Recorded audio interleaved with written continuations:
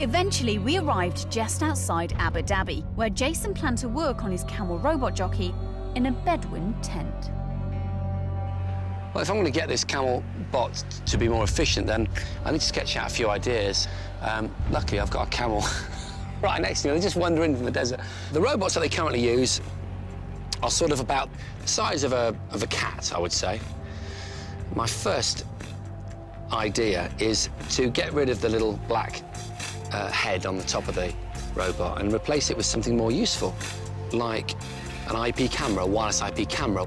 So the camera's sending data to a tablet or a laptop trackside where the, the person controlling the robot is, but that person can also send back commands. There could be a kind of two-way flow of data, video from the robot, maybe position data, speed data, if we put a GPS module in there, that's a good idea. All I've got to do, though, is make that all work. So, um, yeah, let's just get this done.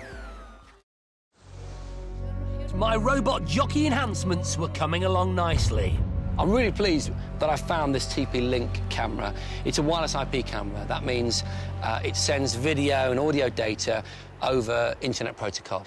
Because via this router, which I've sourced here, uh, I can send that trackside really, really easily. The other cool thing about the TP-Link is it's movable. Look, on two axes, and this is very sexy. From Asus, it's the Eee Slate, and it's a large format tablet. It's lightweight, and it's going to be a really interesting little partnership between the camera and that, and that slab. So I've got to get some audio that can be sent to the robot and then in turn spoken uh, in some way to the camel.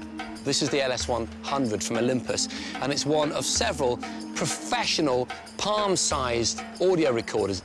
Ahmed, are you there, dude? Um, I need some Arabic phrases okay. so the camel will understand that. Faster. Jaldi, jaldi, Ahmed, when I say jaldi, jaldi. Okay, left. Left, yesar, yesar, yesar. Uh, right. Yameen, yameen, yameen.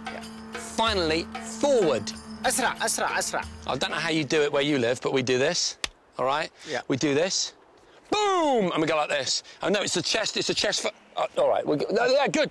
You- Yeah, thanks, man. thank you I think Polly was impressed when she arrived in my little Bedouin tent uh, and, and, and saw that all the components that actually now, you know, come, come into shape, that the robot was kind of working.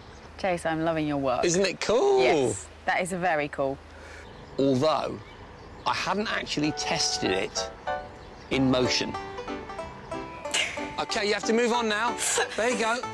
There's a hurdle, you got to jump, got to jump the cushion. oh, my God! That is brilliant! I think I can safely say